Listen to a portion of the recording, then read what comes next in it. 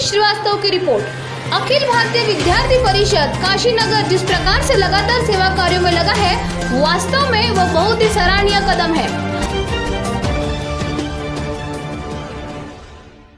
हर क्षेत्र में विद्यार्थी परिषद के कार्यकर्ता लगे हुए हैं। इसी क्रम में विद्यार्थी परिषद ने स्वच्छता कर्मियों को सम्मानित करने का निर्णय लिया।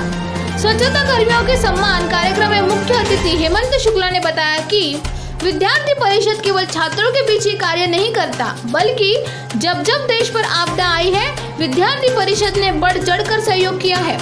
स्वच्छता कर्मी वास्तव में सम्मान के लिए योग्य है। पूरे देश को इन पर गर्व होना चाहिए। प्रदेश सह मंत्री शिवम सेठ ने बताया कि हमारे प्रधानमंत्री जी का संदेश है कि सबका साथ और सबका विकास होना चाहिए। विद्यार्थी परिषद हर वर्ग, हर समाज को लेकर देश के लिए कार्य करता है। विद्यार्थी परिषद ने स्वच्छता कर्मियों को अंग वस्त्र सैनिटाइजर मास्क खाद्य सामग्री इत्यादि देकर उनका सम्मान किया। कार्यक्रम में मुख्य रूप से कुश अग्रही पंकज गुप्ता, अजय शर्मा, अमित पटेल, शरद गुप्ता, दिलीप केशरी, अभिषेक मिश्रा, प्रभात विश्वकर्मा, अरुण चौबे, विनय साहू, सचिन सिंह, रविशंकर पटेल, विभूति मिश्रा, संतोष मिश्रा आदि उपस्थित रहे। परिचय डॉक्टर हेमंत गुप्ता प्रदेश सह संयोजक नमामि गंगे। आज किस तरीके का आयोजन? ऐसा आज जो ये कार्यक्रम है जैसा हम लोग सब जानते हैं कि एक विश्व वैश्विक महामारी कोरोना के नाम से पूरे विश्व को आक्रांतित करे हुए है।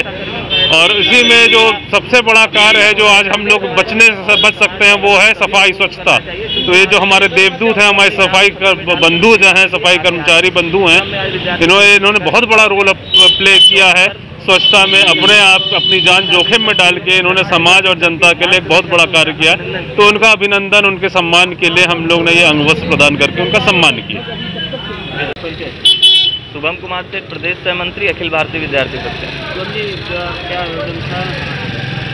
इस वैश्विक महामारी कोविड 19 के दौरान आदरणीय प्रधानमंत्री जी ने देश को एक संदेश दिया था कि इस समय सेवा कार्य में देश की सेवा में जो भी स्वास्थ्य कर्मी स्वच्छता कर्मी मीडिया कर्मी और अन्य पुलिसकर्मी जो भी लोग समाज की सेवा में लगे हैं ऐसे लोगों का अभिनंदन करना चाहिए। तो विद्यार्थी परिषद ने यह निर्णय लिया कि स्वच्छताकर्मी जो तपती धूप में आगे आकर समाज की सेवा, कोरोना ऐसे महामारी को जानते हुए भी अपनी जान को जोखिम में डालकर समाज की सेवा में रोज सफ़ाई करने के लिए आते हैं, ऐसे लोगों का विद्यार्थी परिषद ने आज अभिनंदन किया है। उनको अंगवस्त्र पहनाया है, सैनिटाइजर दिया है, मास्क दिया है और विद्यार्थी परिषद लगातार जिस दिन से लॉकडाउन हुआ है, वाराणसी के अन्य सभी क्षेत्रों में सैनिटाइजर, मास्क, खाद्य सामग्री और सभी वर्गों को देती आ रही है।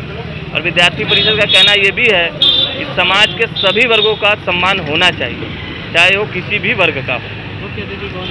आज हम लोग के बीच में डॉक्टर हेमंत शुक्ल जी, जो दैनिक जागरण के संपादक हैं, वो आज हम लोग के अतिथि थे।